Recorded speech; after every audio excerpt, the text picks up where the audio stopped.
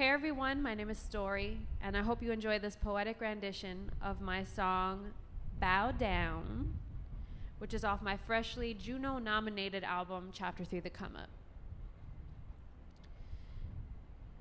We're scared of smarts and swag, scared of strong and black, scared of pussy biting back, scared of the lower class, realizing that they're the greatest mass be afraid of a woman in her power.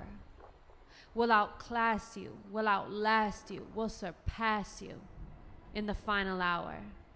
In the final hour, cower before me. For if the king is the ruler, then I'm the king of kings. Bow down to the maker of all things.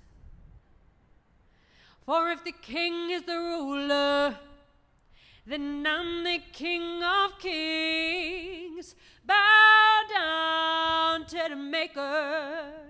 Bow down. Bow down. Bow down. Cower before me. Bow down.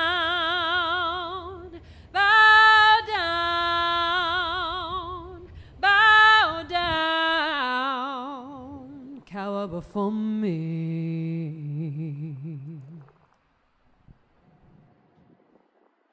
So, what really inspired me to write this song was really my frustration um, with the music industry and how it was treating me based on my history, having been coerced into the sex industry as an exotic dancer, and also just being a woman, period. And um, I realized that a lot of people are in this position, and I wanted to empower them. I wanted to empower myself, but I wanted to empower them as well.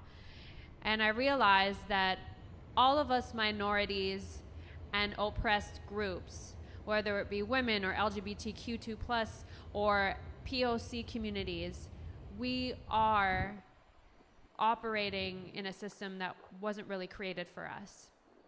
But if we band together, we are actually the mass. We are the greatest, the greater half of the world, essentially. And um, we have to be our own superheroes, and nobody's gonna come save us. So keep making your art, keep owning who you are. And eventually, these invisible people who run shit will have no choice but to bow down.